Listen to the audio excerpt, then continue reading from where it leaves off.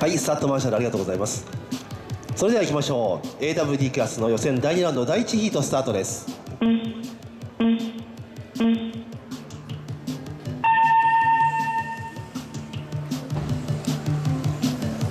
さあ今大会ですねちょっと天候の関係で予選は2ラウンドしか行われませんけどもね。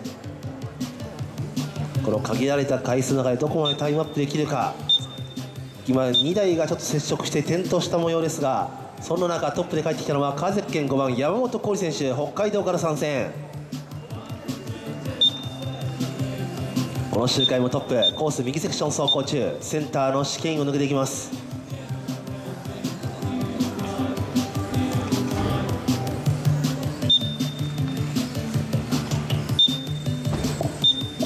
2番手は約2秒後方に川崎県6番関川選手。3番手川崎県2番岡安選手。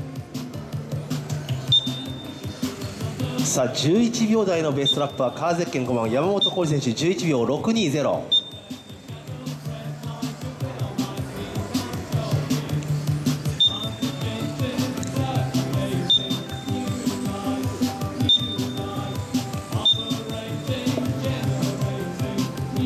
走行時間残り50秒。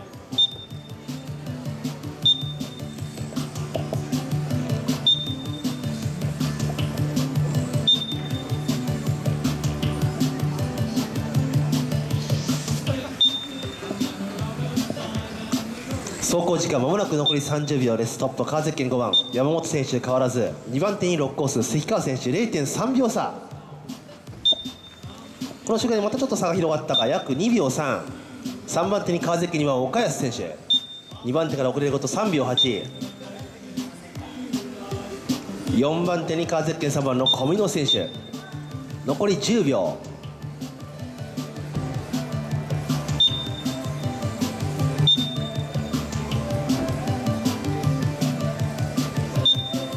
さあ時間は2分経過しました。5コースゴール。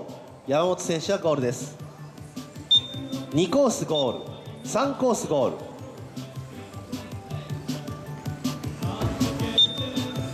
6コースゴールで、えー、走行中のマシンは全てゴールです。